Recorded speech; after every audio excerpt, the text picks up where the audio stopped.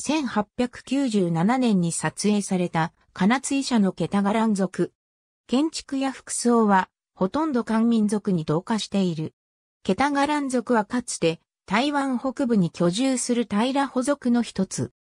現在の台北県、台北市、キールン市、桃園県一帯に広がる台北盆地に居住し、前史時代には国家的なものも形成されていたようである。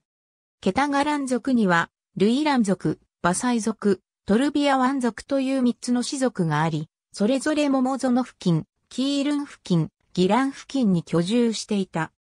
商いや航海に長じ、早くから漢人や南蛮人、日本人と交易を行い栄えていたが、帝史政権の頃から漢人との同化が進み、日本統治時代初期にはすでにケタガラン独自の文化というものはほとんど消滅してしまった。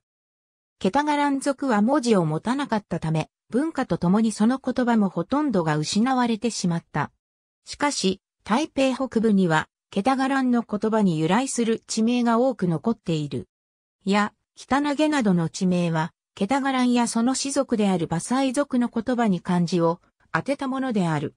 台北県三木領郷に原子力発電所が建築された際、ケタガラン族の集落の遺跡が発見された。